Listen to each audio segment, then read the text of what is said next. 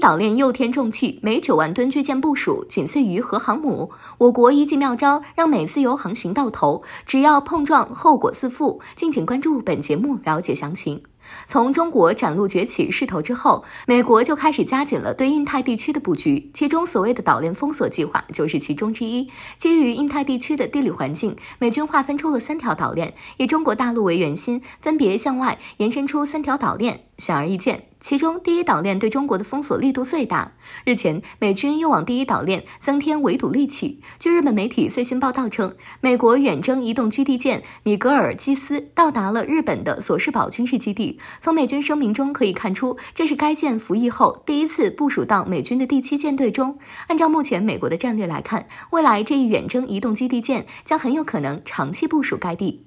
在如今中美对抗的关键时刻，美军部署这样一艘远征移动基地舰，在此究竟有何目的呢？我们都知道，所谓的远征移动基地舰，顾名思义就是可以移动的海上基地。从排水量上来说，这一艘远征移动基地舰仅次于美军现役的核动力航母，可见其规模的庞大。从作用上来看，这一远征移动基地舰可以最大程度地满足美军的武力投射需求，特别是在战时，这一远征移动基地舰的作用就更加不容忽视。可以说，这艘舰艇凸显的是强大的机动性作战优势。从如今高悬的对抗态势上来看，美军将这一战略利器部署到该地，其居心可想而知。那么问题来了，我国面对这种类似的大型军舰有何妙招呢？我国专家就提出了一种非常普通但十分实用的方法：大范围的使用水雷。看到这里，也许会有人疑惑，这么普通的武器，怎么能对跟航母一样的庞然大物造成伤害呢？随着现代武器技术的发展，不少人认为水雷这种武器已经过时，但是实际上，水雷这种低成本、战略性威慑海战兵器几乎永远不会过时。在大型海战中，大范围部署水雷。雷首先就能够达到封锁、延缓敌军进攻步伐的目的。更为重要的是，在现代武器技术的加持下，新型的水雷也相继出现。在普通的水雷上安装自动识别功能，就能够精准定位到需要攻击的敌方舰艇上。就连美国媒体此前也表示，一旦美国海军向中国进发，那么中国势必会迅速封锁这些海域。在十万枚水雷的封锁下，美军几乎不可能安全航行过这些水域。也就是说，在这一海战力。气下，美国一旦越界，其后果就需要自保，挑衅就是送死。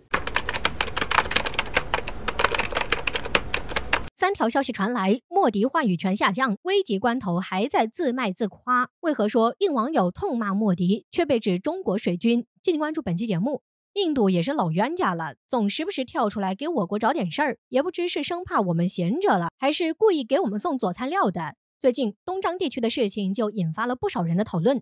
毕竟，印度再次和美国勾连，都着实令人不喜。不过，有意思的是，最近印度再次传来三条坏消息。和从前成功的洗脑相比，最近印度网友的评论信息量可算是极大了。日前，印度总理莫迪在宣布成立印度太空协议的公开活动上，说了一番令人咋舌的话。大致上意思就是，印度现在强大了，在太空领域中已经成为了世界上少数几个拥有尖端技术实力的国家。最后竟然还自卖自夸，表示自己成立的这个太空协会有多么伟大。他认为印度从未有过如此果断的政府，太空领域进行着重大改革就是证明。这番话说完之后，就在印度网友中引起了极大的反响，而且还是一个非常坏的反响。非常多数量的印度网友纷纷开麦痛骂莫迪，认为这是本世纪最大的笑话，莫迪是个自恋狂，都是空话，从来没有见过这样无能的文盲总理等等。甚至还有一位网友表示，现在的印度政府确实没有犹豫不决，然而这个果决却只用在集体仇恨、不成熟的计划、无知的决定上。为此，甚至被人指责是中国水军。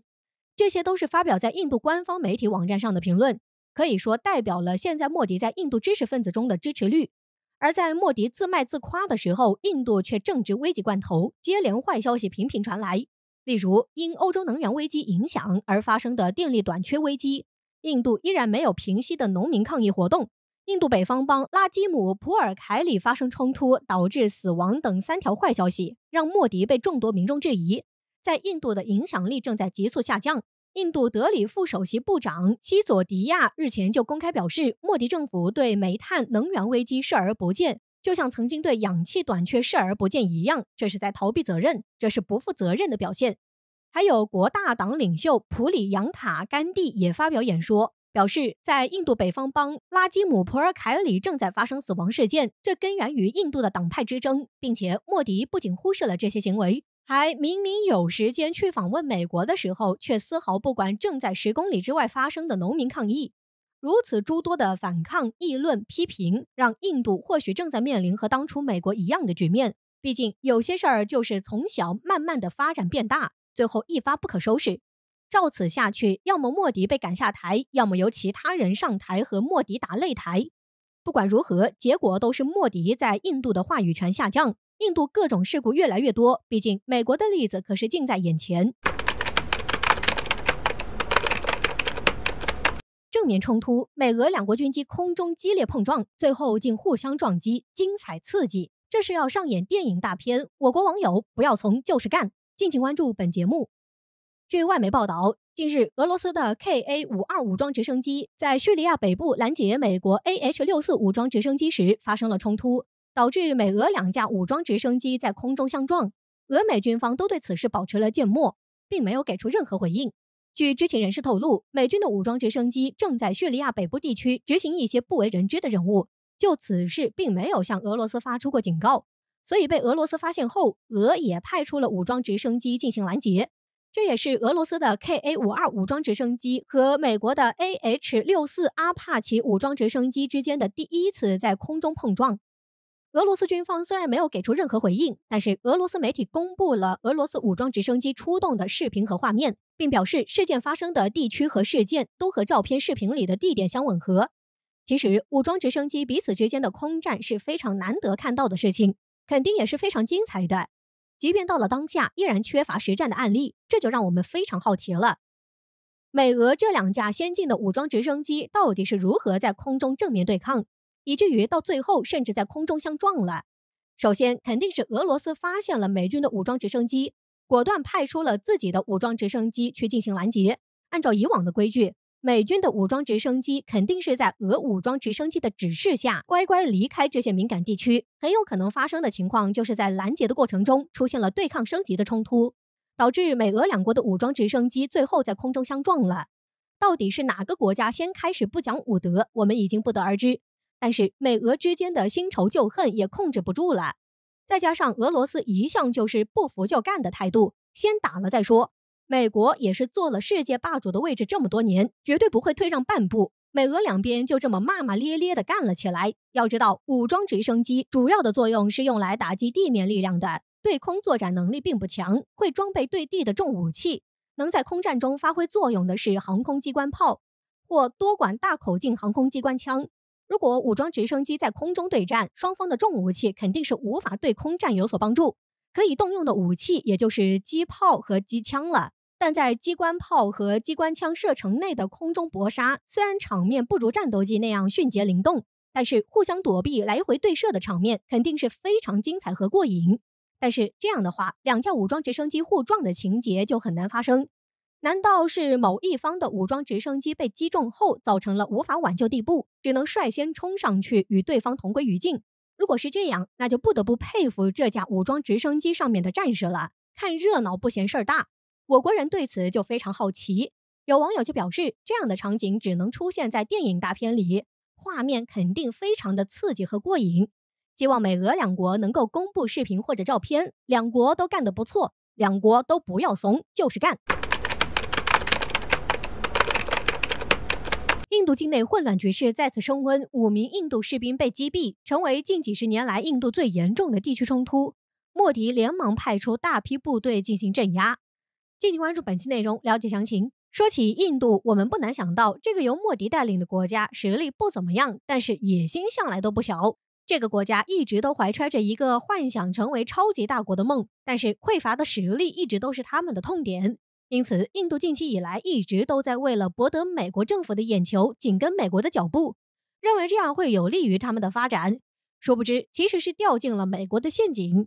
不过，虽说实力的匮乏成为了印度想当超级大国的重要绊脚石，但是领土争端局势的混乱也是印度需要面临的重要问题。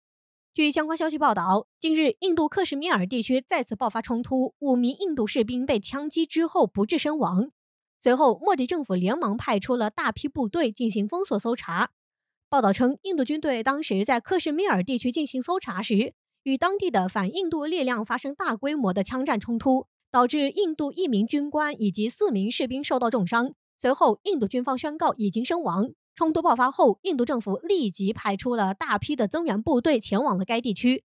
而截至目前，这些部队也已经到达了地区进行搜查。这样大规模的冲突也是印度在该地区近十几年来发生的一次最大规模的冲突。而这样的枪战给印度也带来了巨大的损失。